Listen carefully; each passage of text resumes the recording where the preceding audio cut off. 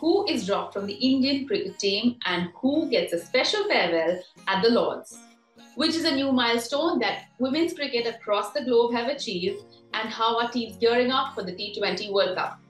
Are you curious about all of this? That's what I'm here for. Welcome to another episode of the Weekly Briefings, and I'm your host Chandni, here to give you all the top news from women's cricket across the globe. So let's get to it right away. The ICC introduces the first ever Women's Future Tours program. The International Cricket Council has announced a Women's Future Tours program until 2025.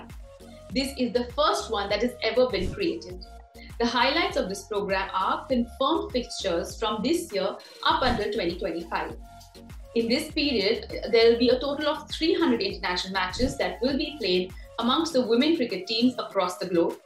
There will be seven tests in total, 135 one day international matches, and 159 T20 international matches.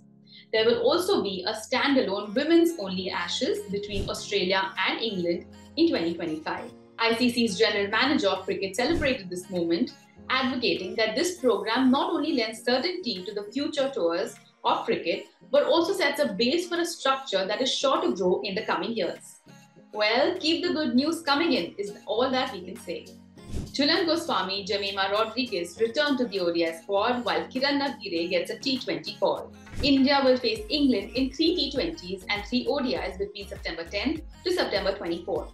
For this, veteran pacer Jhulan Goswami has been recalled in India's ODI squad along with Jemimah Rodrigues and Dayalan Hemalatha. Kiran Navgire is called in for the T20 squad, which is her first time for India across all formats.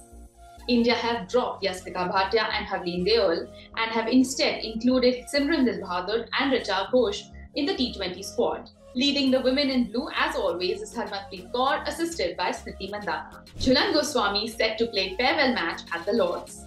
Continuing with the news about Team India, the BCCI has declared that the final ODI at the Lords will be the farewell game for pacer Jhulan Goswami. Jhulan has been the face of women's cricket ever since one can remember, and she's set to retire from international cricket at the end of the England series.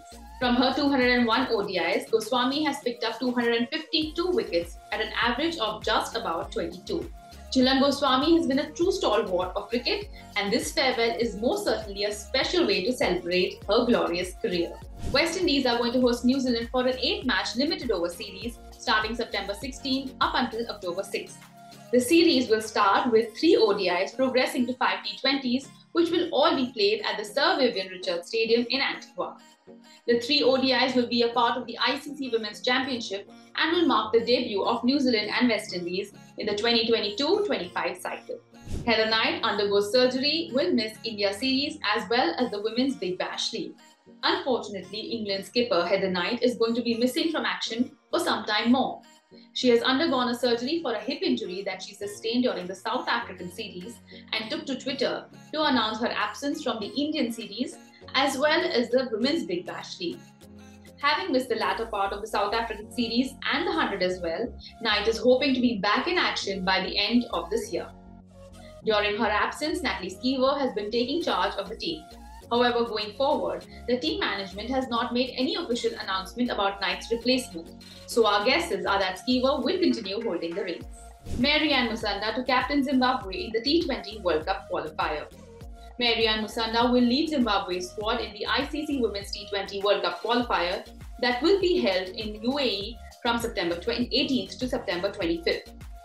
Zimbabwe's ongoing preparations include a tour to South Africa at the end of August, where they will play five T20 matches against South Africa's emerging women's team, and then a quadrangular series in UAE against Team UAE, Team Thailand, and USA early September. That brings us to the end of the week's briefings.